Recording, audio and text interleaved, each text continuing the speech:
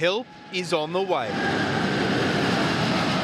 The humanitarian support, the very significant humanitarian support for India, has already departed Sydney. It includes over 1,000 non invasive ventilators, 43 oxygen concentrators, and much needed PPE. This is the first shipment of uh, what is expected to be a number of shipments of assistance to India. Uh, it's certainly hitting the sweet spot. India is a great friend of Australia. A great friend, maybe, but there are 9,000 Australians stranded on the subcontinent with no help to get them home. Uh, Australians here in India clearly uh, want to get home.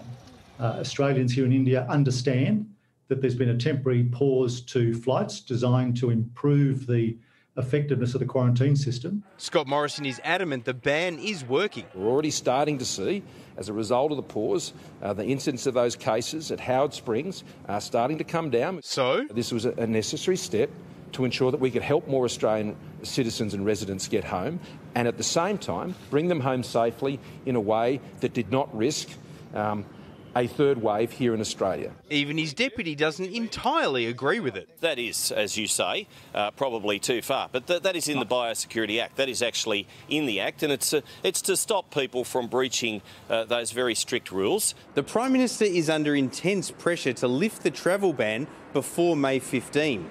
And late this afternoon, an Australian stuck in India since the pandemic began has launched court proceedings challenging the travel ban on constitutional grounds. Uh, look, I, I won't comment on specific cases before the courts. Peter Van Onselen for 10 News First.